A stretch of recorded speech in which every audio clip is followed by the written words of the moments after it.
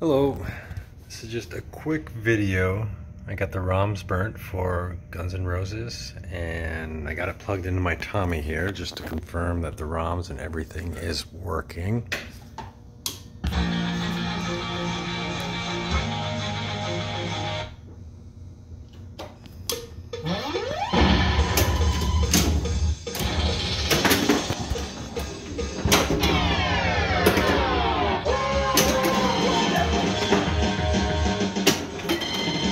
Yeah.